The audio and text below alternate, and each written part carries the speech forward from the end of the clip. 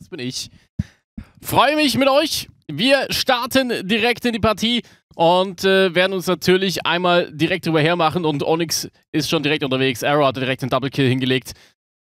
Und äh, Red möchte das Ganze mal ausgleichen, aber sie sind auf dem Onyx ihrerseits über den Seitengang unterwegs, um dann nochmal eine Flanke aufzumachen. Mojo, die Duo ist mal wieder grundlegend ordentlich eingesetzt. Slacks in der Ecke, keine Chance. Laux mit einem Double Kill. Die Zeit läuft jetzt natürlich gegen No Rules. Der versucht in die Offensive zu gehen. Longs macht den Headshot gegen No Rules und holt die Runde nach Hause.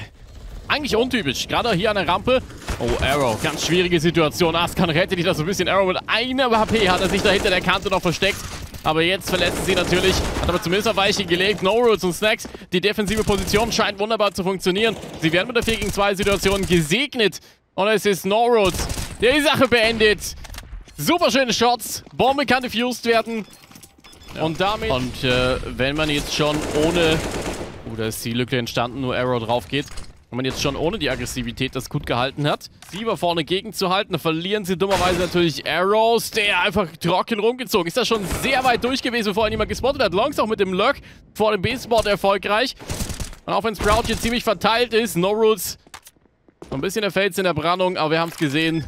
Der B-Spot, der wird schon eingenommen. Reingesetzt hat, wenn wir uns jetzt mal so ein bisschen zurückerinnern, die einzig wirklich ruhige Runde, währenddessen Norwood sogar nochmal Fake gegen Patrick hat. Es hat halt überhaupt nichts mehr funktioniert. Ich bin mal gespannt, wenn Unzellens es hier durch solche Pushes schafft, wie Mojo, genau diese Aggression zu denyen. Ich glaube, da können sie eine schwere Zeit haben. Die Flash von Stair allerdings aus dem Lehrbuch No Rules ist da komplett Red ist einfach durch über die Mitte. Uiuiui, große Probleme. Aber den Spray gerade noch rechtzeitig reingekriegt, bis ein Mojo da mitkriegt, wo die Schüsse herkommen. Also ich will uns ein kleines Feature, was wir hier äh, haben für den letzten Spieltag. Der eine oder andere wird es schon gespottet haben. Unten links wenn ihr sagt, ihr müsst die anderen Spieler nicht unbedingt sehen, aber würdet ganz gerne wissen, was da abgeht, je nachdem, wie die Tabelle sich dann auch verändern könnte, könnt ihr die Matches die ganze Zeit äh, verfolgen. Seht genau, was abgeht und ähm, habt immer einen Überblick über das, was auf den anderen Servern ist schon wirklich außergewöhnlich.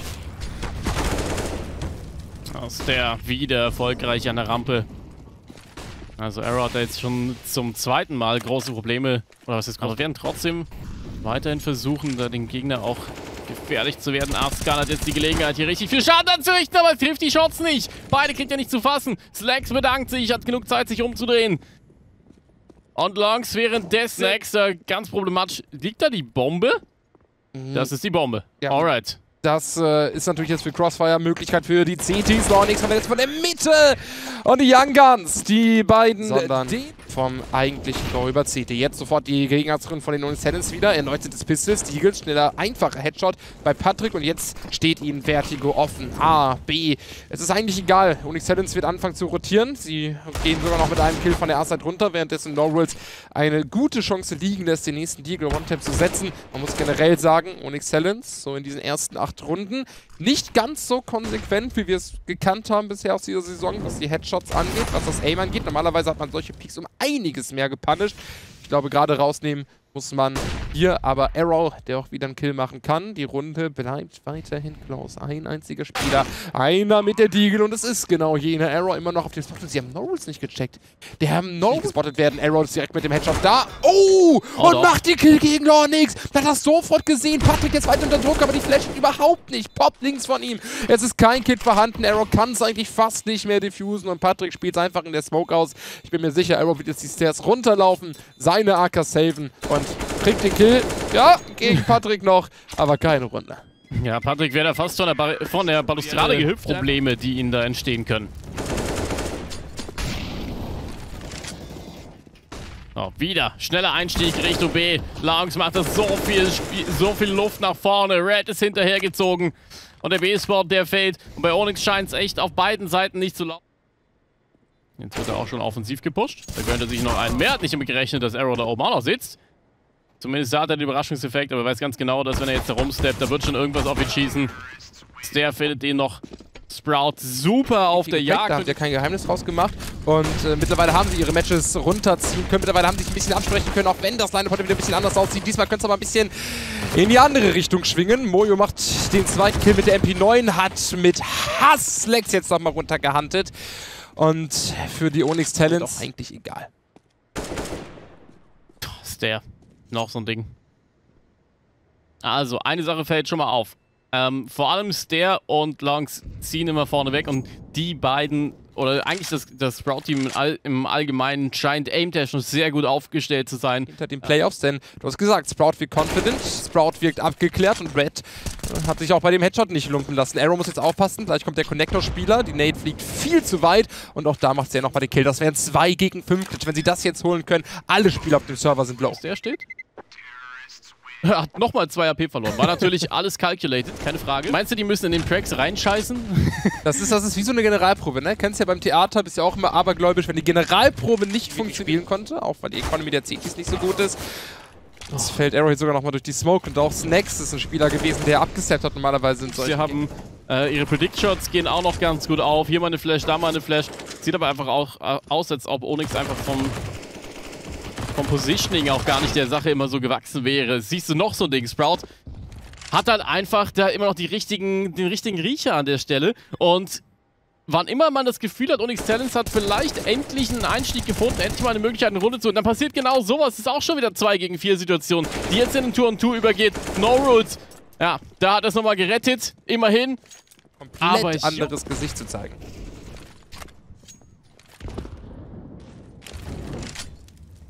Vor dem 2 zu 0 sind wir jetzt natürlich äh, weiter weg, könnten wir davon fast nicht sein. Auch hier wieder ordentlich getradet. Es fällt für jeden Onyx-Spieler, fällt eigentlich, oder für jeden Sprout-Spieler fällt eigentlich fast immer auch ein Onyx-Spieler gleich mit. Und dann passiert sowas. Snacks, sehr viele Einzelsachen. Also das ist eigentlich die, die also dazu zu zwingen, irgendwelche endgültigen Sachen zu spielen. Na, jetzt zuerst kann mal den Red da vorne erwischt. Da ist es wichtig, dass man zusammenspielt. Jawohl, das sieht gut aus. Ein Tropfen auf den heißen Stein oder... Was kann. Jawohl. Das war Double Kill. Also, endlich aus Onyx Sicht mal eine Runde, die etwas gut startet. Arrow jetzt auch, aber es ist 2 gegen 5. Da kriegt daher jetzt die Flash nochmal durchgekriegt. Da war irgendwo eine Gegenflash, glaube ich, mit dabei. Oder von Red schlichtweg die zweite Flash. An den Seitengang, damit Red auch wirklich da alleine ist, damit der Supportspieler nicht da wirklich viel machen kann. Nur auch ein Headshot von Red, aber Lornix ist jetzt alleine. Ich meine, es ist eine A-Maschine, der Junge, aber aus der Position wäre es eigentlich zu viel verlangt. Da darfst du eigentlich nicht sagen, dass es klatschen sollte, dass es vielleicht trotzdem kann, möchte er uns jetzt beweisen. Norris fällt zumindest, es waren 30 Sekunden. So, also, Diesmal auch dran drin sein. Die Betonung liegt hier auf normalerweise, denn wir sehen da auch schon wieder AKs sind eigentlich fast durch das Board vorhanden. ist der Refract Mojo, der da alleine vorgestellt wird. Diese Popflasche sollte es Wahrscheinlich nur eine Frage der Zeit, bis sie ein paar Shots finden, Slacks. Aber er schafft es trotzdem noch, um die Smoke weiter rumzuwiesen und irgendwie so davon zu kommen schrecken können. Nochmal eine Gegenflash. Der Timer tickt auch immer weiter runter. Die Bombe zur Hälfte jetzt down. Snacks holt sich den Reflect gegen Patrick direkt, aber geht dann vielleicht einen Ticken zu aggressiv auf Seiten von Askan. Die MP9 macht verdammt viel Schaden. Die Close er kommt, desto besser. Und er muss es jetzt aber alleine machen. Arrow 1v2, sie pieken ihn beide. Und das schlussendliche Resultat ist ein 11 zu 4. Ja, schon mit den Duels bereit. Jetzt kommt der Moment der Wahrheit. Einen Kill macht er, dann wird er vernünftig getradet. Longs hinten auf der Ecke. Ein 17 AP. Entweder hat er ein Ding schon mitbekommen oder eine deftige Granate. Ich habe es nicht ganz realisiert. Red versucht, da so ein bisschen zu retten. Die sind sehr schnell in die Gegenoffensive. Also von Sprout kommt er direkt Gegenwehr. Arrow. Arrow macht das, was er am besten kann. Headshots an vorderster Reihe. Und jetzt lassen sie ein bisschen reinlaufen. Stair hat Munition. Die Duels spielen er natürlich mit. Letzter Versuch für Stair. Und Lock, er geht mit dem Knife rauf. Er hatte, glaube ich, keine Zeit mehr, seine Waffe nachzuladen. Smoke werfen, dann oben über die Smoke drüber ziehen. Und äh, gucken, dass man die Duelle möglichst in Vorteilsposition eingeht. Aber nachdem die Smoke gefadet ist, lässt sich Slacks da oben noch ziemlich offen blicken. Und der vorne versucht weiter Schaden zu machen, wurde von Snacks gepickt. Überzahlsituation für die Onyx Talents. Und die haben jetzt... Nein, Onyx hat den Wexap gesehen, geht auf den Aufwinkel, damit das Safety abgeaimt wird. Mojo hätte da mehr rausmachen können. Natürlich Pech, gleichzeitig Patrick oben auf dem Selbstboost. Und es sah so gut aus für die Onyx Talents eigentlich. Aber jetzt wird es immer, immer schwieriger. Snacks endlich mit dem Support von Askan, der kann auch wieder von hinten kommen. Lorn X steht rum, das ist nicht am Self-Boost. One-for-One-Trade. Red kommt von der Seite ja. und wir haben es gesehen. Snacks mit dem Blick nach vorne, aber nicht nach links. War sich Frage, nicht sicher. Sprout hat so viel vorgelegt dass sie den Riesenvorteil auf ihrer Seite haben und Snacks eröffnet mit dem Smokebang gegen Longs. Und dann gibt es den Ent schnellen Entry auch in der Mitte von Mojo. Rechts abgesmoked. Wahrscheinlich werden sie... Da, denn man muss sagen, die letzte Zone, die Smart geholt hat, war ja auch genau dieser gute Start von den Onyx Talents. Und jetzt kann man es auch mal in die Midfront mit reintragen. Snacks holt noch Patrick raus, der der letzte einsame Krieger auf der B-Side gewesen ist. Der, boah, ich wollte gerade sagen, vielleicht mit dem Crossbreak noch. Nochmal 2 gegen 3. Vielleicht wäre dann was gegangen, aber Headshot geht down. Slacks fällt. Long sitzt in der Smoke. Das sieht so geil aus. Es wird zwar durchgespaced und sie bekommen ihn trotzdem raus. Also dann haben sie ihn doch predicted. Schade, da wäre so viel drin gewesen. Aber es hat Zeit geholt. Dadurch, dass sie wussten, dass irgendwo was stehen müsste. Red holt auch nochmal einen Kills rein, rotiert drei Spiele jetzt auf dem Spot. Und der, der kommt von hinten, der kommt von hinten, macht zwei. Und Excellence, genau das meinte ich. Genau sowas oh. braucht man bei Sprout. Eine 1 zu 6. Also sehr, sehr fiese Nate. Stair und äh, Mojo trennen Oh, Red. Arrowhead. Entweder hat er ihn gesehen, ich glaube, er hat ihn gesehen vorher, noch kurz vor dem vor dem Wegzischen. Gespalten. Slacks muss sich von der Side erstmal umdrehen, auch hier mit der AK wieder. Aber das Gute ist, dass Patrick sich ein schönes Timing gesucht hat. Der ist nicht sofort aus Heaven rumgezogen, sondern hat gesagt, okay, sobald der First Contact ist, ziehe ich rein. Der wird natürlich sicherlich nicht nur ein Spieler schienen deshalb hat er es erwischt. Arrow mit dem fantastischen Crosshair-Placement, weshalb der Shot gegen Slacks relativ einfach war. Und jetzt ist es Aska genau auf diese Nate gespielt und ich glaube, Aska wird nicht mal die Orb durchsaven. Oh, ist das bitter. Ist das bitter. Aska die Bande geworfen ist, hat das wahrscheinlich auch ein bisschen gelesen. Die Nate hätte oh, von der gereicht. Und der Push durch die Smoke. Klar, gegen die Pistols kannst du was mal eingehen, aber trotzdem, er hat schon relativ viel bereichern können. Arrow, aber der der einzige Hero-Arc hatte noch in dieser Runde, holt sich da einen weiteren Kill. Patrick hat einen großen Ui. Struggle und du willst Arrow eigentlich nicht an dieser AK haben. Genau da ist er gefährlich, genau da kann er dem Gegner dort wehtun, wo es am schlimmsten ist und er macht immer ja. weiter. 3K, Bombe währenddessen geplantet, der ist im nächsten Klatsch und das ist, das ist Mega. so. Arrow spielt close an der Smoke, der droppt rein, aber in der Luft schon am Schießen und deshalb auf Sprout aufzuschließen. Das ist die Theorie, die Praxis sieht gerne mal anders aus. Die B-Spieler, Anchor, Rotator und alle, allerdings ohne auch noch ein Kill down gegangen ist der. Oh, macht er sogar noch. Jetzt Zwei wieder dran ich muss ganz ehrlich sagen, für mich kann das Match gerade in jede Richtung gehen. Auch so eine USP kann in jede Richtung gehen, denn das ist jetzt nicht nur noch eine USP-Runde, sondern auch die AKs. Red hat das sehr schön gelesen, dass er da runterhanden musste, auch durch den Molotov und Norwood ist da onside ein bisschen auf Guard erwischt. Eigentlich muss Lex da mehr rausholen, das Gute ist aber, dass der noch an den Seitengang. Oh! Headshot jetzt nochmal gegen Arrow und jetzt ist es auf einmal 2 gegen 4. Bitte nicht so, Lex immer noch bekannt auf der Side. Fällt, Stair, tappt. Allerdings immer noch mit der Deagle rum. Kann den. Shot erstmal nicht setzen. Lauren X pickt aber die AK und jetzt ist es Snacks 1 gegen A-Seite, aber Lorne X steht da einfach um einiges besser. Macht nicht mal den Kill. Overtime Wenn garantiert. Wenn zwei Leute rumziehen, ist Red tot. Ja, brauchen sie nicht, weil der, der erste Shot schon tatsächlich nicht rein, dadurch, dass Mojo so ein bisschen am Jiggeln ist und ihm nur das Schulterblatt zeigt. Das ist zwar jetzt gut im Arsch. Ja, Patrick kurz in Deckung gegangen. Arrow, es wird getradet. Wieder Arrow mit den Double Kits. Wieder er mit den Entries. Aber da wird er gestoppt von Stair der auch seinerseits sich auf den Spot draufzieht. 2 gegen 2 Situation. Ich muss früher oder später Mojo oder selbst mal die Offensive finden, aber der hat das vollkommen auf dem Schirm. Hat wunderbar aufgepasst. So, da ist das GG. Sprout gewinnt die erste Map. Äh, ziemlich deutlich auch die erste Runde der zweiten Map hier nicht verpasst und das ist Inferno. Und da kommt der Offensiv-Push von Onyx Talents, die sehr tief bis unten an die T-Treppe ranrotieren. Askan Mojo. Oh! Askan! Es scheppert in Longs Gesicht. Da möchte ich natürlich den letzten Frag auch noch haben, aber Red ist ein bisschen in der Ecke. Mojo beendet das und der Offensiv-Push von Onyx Talents. erste Map gegen Big Academy gewonnen und die können theoretisch auch den Onyx Talents vorbeiziehen. Und oh. gerade in dieser Runde macht man nicht wirklich viel dazu, dass sich nicht noch Realität... Und dann kommt auch dieser Flick von Longs, muss man dazu sagen. Der hat ja mit der Mac 10 im Spray den Spray-Transfer gemacht. Sieht man auch nicht alle Tage, über, über 90 Grad. Askan hat am Ende gezeigt, dass er noch performen kann. Die Flashes oh. in sein Gesicht nehmen ihm aber alles raus. Die oh, Tech 9 von Arrow macht da keinen Kill. Das sind wir nicht von ihm gewohnt. Normalerweise ist das für ihn Safe-Dinger. Norwoods auch mit der 5-7. Der Molotov supportet ihn für den zweiten Kill. Sogar ein Headshot. Okay, okay. Der EGL zeigt uns, wie das hier geht. Die Bombe ebenfalls gedroppt in CT. Eine hohe Flash kommt mal raus. Lägst auch Full Flash durch die Smoke angehittet. Und da geht doch noch was. Ja, also da hat sie irgendwie noch gerettet. Keine Smoke da zur Verfügung gestanden, dass die Bombe da noch reingepurzelt ist. Ähm, ich weiß nicht ganz, was der da gemacht hat. Der hat auf jeden Fall in die falsche Richtung geguckt. Slacks, Snacks mit dem Double Kill mit der Diege. So schnell kann es gehen. Die Runde ist schon durch. Und Onyx Talent so. eine Rolle gespielt. Ich glaube, das wäre auch gar nicht wäre auch gar nicht in Richtung äh, Big Academy gegangen. Nope, da ging ja die erste von Alternate. Also, Schade für die Big Academy. Mal gucken, was dabei rumkommt. Jetzt schauen wir erstmal, was auf lang rumkommt. Oh, schönes Bait-Setup. Hinten der Spieler weggesprungen an der Kante. Snakes hat sich so ein bisschen hinter der Smoke versteckt. Und klassisches äh, Switch and Bait. Mojo. Switch and Bait. Mit der M41S.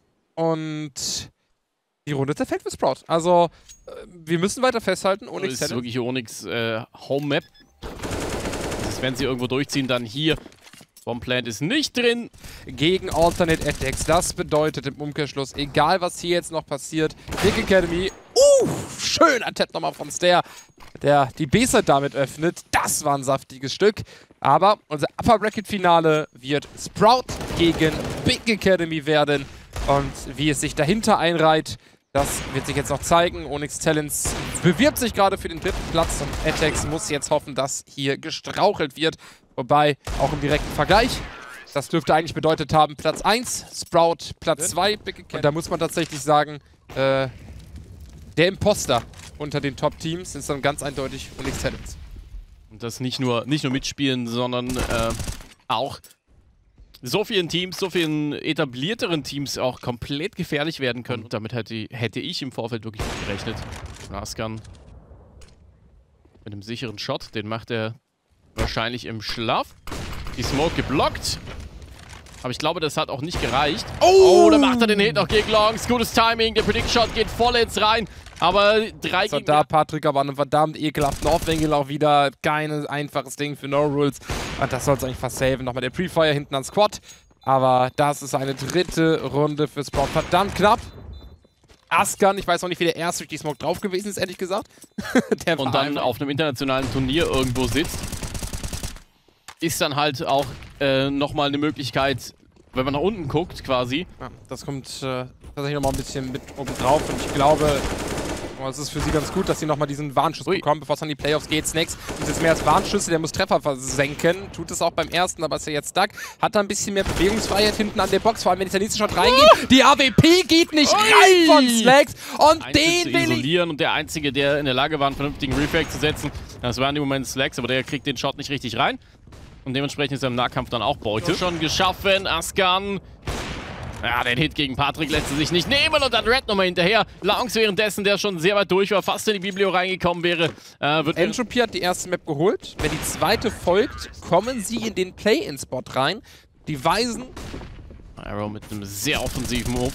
Geht zusammen mit Mojo, die beide da tief reinziehen in die falsche Mitte.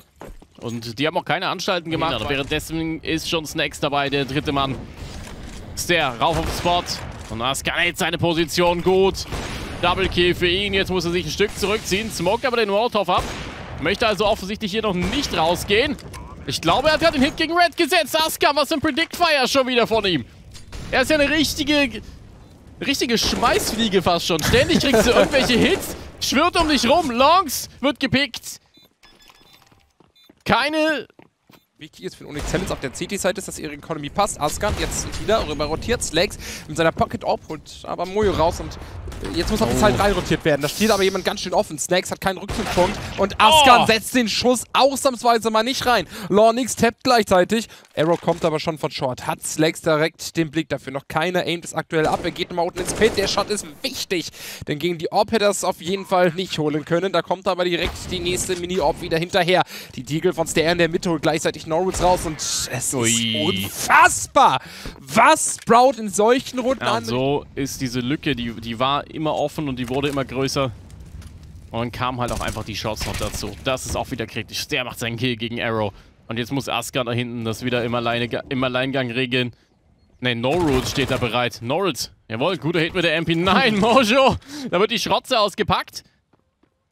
Und Stairs Position ist im Moment zumindest auf sich allein gestellt. Unter der Banane kommt jemand nach. Snacks kommt dazu. Hat sich in ein Herz gefasst und Stair da über die Seite gepusht. Und wenn Slaxter versucht durchzukommen, wird er höchstwahrscheinlich auch noch abgefangen. Mein Gott, was entsteht hier für ein Chaos? Meine An vielen Stellen. Ja, aber das ist ja bei Sprout zum Beispiel nichts Neues. Oh, das ist schon wieder in der Mitte so weit oben. Arrow musste da durch die Smoke steppen, um das nachträglich nochmal zu holen.